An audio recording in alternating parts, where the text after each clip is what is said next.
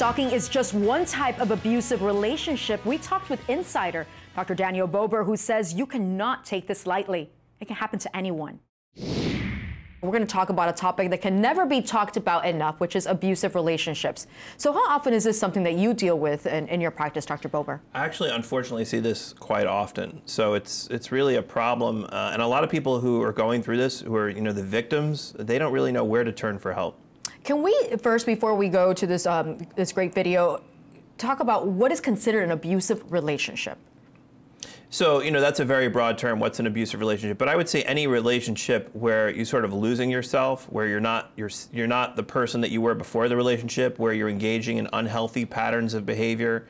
You know, maybe you know your physical health is suffering and your mental health is suffering, or you're suffering from depression. Anything that really affects you negatively to the point where it affects your everyday functioning, I think would be considered an abusive relationship. Now, the Centers for Disease Control and Prevention has a short video that explains what intimate partner violence is and how it affects people. Let's take a look. Intimate partner violence is defined as physical violence, sexual violence, stalking, and psychological aggression by a current or former intimate partner, and is preventable. Intimate partner violence threatens the well being of millions of people and their families every single day. Intimate partners may include current or former spouses, boyfriends, girlfriends, dating partners, or sexual partners. Intimate partner violence can occur between heterosexual or same sex couples. Some victims may suffer just one experience, while others endure violence that lasts for years.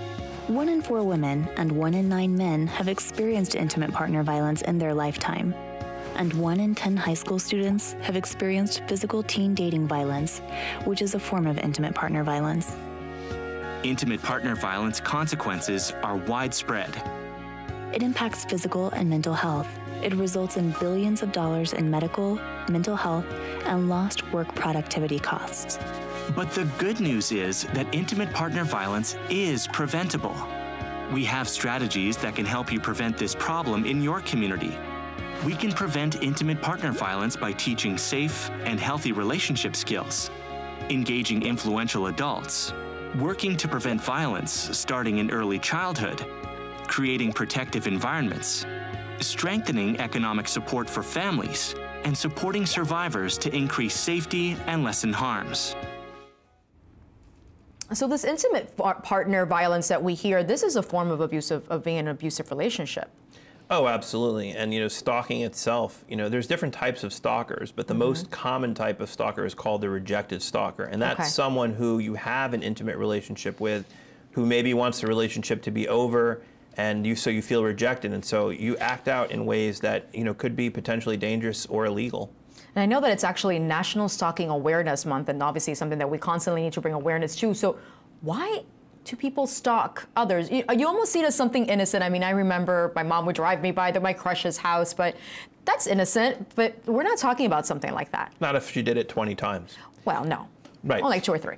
right, exactly. No, that's no big deal. But you know, certain stalkers, stalkers have certain personality traits like narcissism or entitlement, and they don't take rejection well. And Which is a type of stalker you just mentioned. Right. So a rejected stalker is the most common, but also the most dangerous type of stalker. And I'm going to say something, and I want your audience to listen to this, and it's very important, especially you know for to women or men out there who may be a victim of stalking. Don't think for one second that if you get a protective order or restraining order that that's going to make you safe, because that could cost you your life. Getting, Are you encouraging not getting one? I, I'm not saying not to get one. But I'm saying if you do get one, you still have to be vigilant and you still have to be careful. There is this concept in the stalking literature called dramatic moments, and that's when violence is likely to escalate. Right. Dramatic moments are things like if the person gets arrested, if they get served with a protective order, an anniversary date in the relationship, a court hearing, a child custody case. These are all times when violence can escalate rapidly. And so there are certain risk factors we look for in stalkers who are more likely to be violent. For example, stalkers that make face-to-face threats, stalkers that had an intimate relationship with you. The closer, the more intimate relationship, the more dangerous the stalking behavior. Okay. Leaving notes on your car, visiting your house in person, um, a history of violence, a history of substance use, drugs or alcohol, all increase the risk of violence. So wow. you need to be very vigilant and you need to do things, for example, like change your routine. Don't go to work the same way every day. Contact law enforcement. And very important, document, document, document. Document every detail. When the person called, if they showed up at your house, when you called the police. These are very important because you will need to help build a case right. later in court. How much does social media nowadays uh, change the game when it comes to stalking? I mean, it, it, by just pressing blocked, are you protected? Not necessarily, you know. Maybe someone will come in, as we were discussing during the break, uh, through someone else's other person's profile. You know, it doesn't necessarily protect you. It's called this concept of ghosting. You know, right. blocking them on your phone, blocking them on social media. It helps, but often that can actually make it worse because then the, the person who's rejected feels even more rejected. Now you're ignoring them. So the point is, is that there's not one stop shopping. You know, you have to look at each situation as a unique individual and you have to make a decision based okay. on that. So it's safe to say that you should never confront a stalker yourself.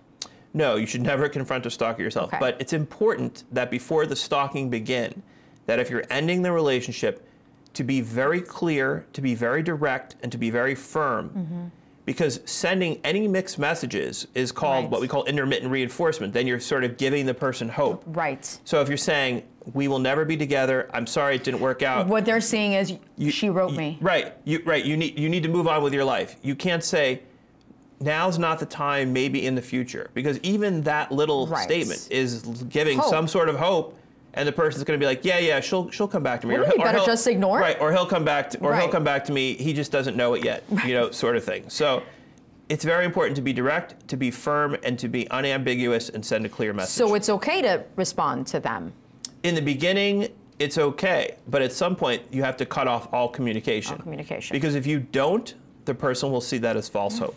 Now, this hour, we've talked about a couple of different mental health issues from addiction to stalking and abusive relationships. I want to leave our viewers with some phone numbers of where to call for help. When you have the National Domestic Violence Hotline, the Substance Abuse and Mental Health Help Hotline, and the National Suicide Prevention Lifeline. Please pick up the phone if you or anyone you know is going through any of these um, issues that we have been speaking about. And Dr. Bober says the most important takeaway is that you do not have to suffer alone. Tell other people, be aware of your surroundings, and more importantly, stay safe. That does it for us today. If you want to watch more videos like what you've seen, download the Health Channel app and visit our website, allhealthtv.com. Also, follow us on social media. We want to be with you Facebook, Instagram, and Twitter at All Health TV. Thanks for watching the Health Insiders on the Health Channel. I'm Kathy Buccio. We'll see you next time.